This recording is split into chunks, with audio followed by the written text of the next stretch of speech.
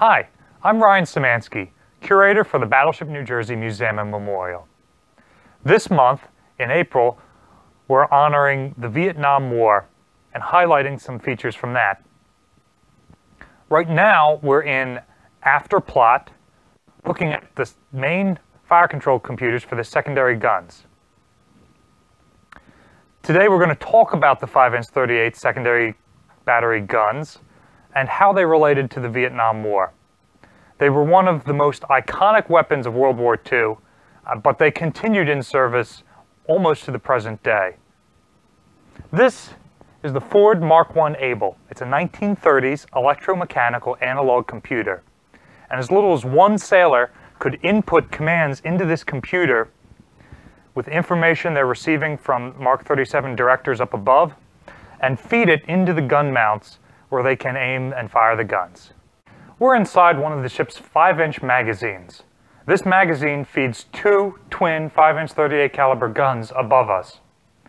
Shells like this one, weighing 55 pounds, were stored in racks behind me, approximately 500 rounds per gun. The first step in loading was to take one of these shells off of the rack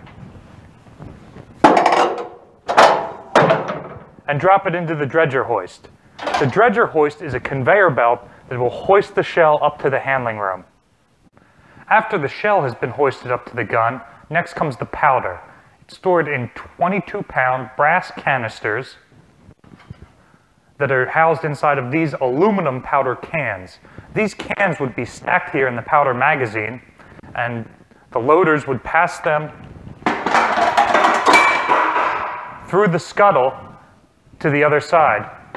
The other side of this door is where the shells were stored, where we just were. On that side, the powder is passed into the dredger hoist, and they're both hoisted up to the handling room. In peacetime, the handling rooms would be probably empty, but in wartime, ready service ammunition was stocked up like this. These are our powder canisters in their aluminum cans. You would remove the brass canister from the can and put it here on the hoist to be sent up to the gun mount. Our ready service shells are stored in racks here.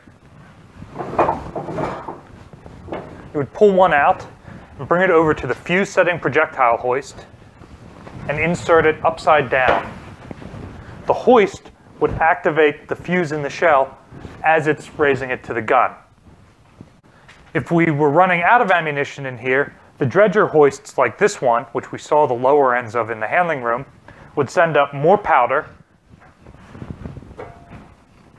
and more shells. If you look up, you can also see the gearing where the gun is rotated. Now we're in the gun house for the 5-inch 38 caliber gun. This one has the breech closed and is ready to fire. This one still needs to be loaded powder canisters come up through the deck here and are put into position like this one. The shells come up from the fuse setting projectile hoist and kick this so that it would drop out. And I set it on this rail and roll it in. Now that the gun has the, both the projectile and the powder, it can be rammed into the breech of the gun. This pad at the back is the rammer. It pushes that in, the breech block then closes like this one.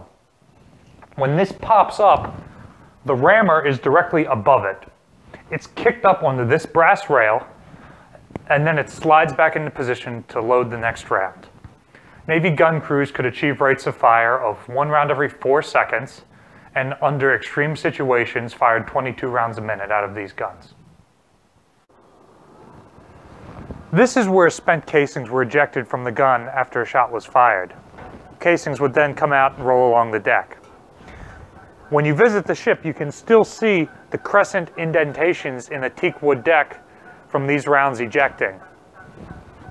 During one gun shoot, February 22nd of 1969, the battleship New Jersey was supporting Marines ashore. As they called in coordinates, it became apparent that NVA forces were all around them. In five and a half hours, the ship fired over 1,100 rounds out of these 5-inch guns in support of the Marines. Shell casings like this built up around the back of the gun so heavy that they had to be removed by crew members before the guns could continue to train and rotate on new targets. If you'd like to see more of spaces like this, join us every Saturday and Sunday at 11 for a 30 90 minute long guided tour of these spaces and other ones relating to our main battery guns. Join us every Friday, Saturday, and Sunday at 2 o'clock for a 30 minute guided tour of the spaces relating to the secondary battery guns. I'll see you on board.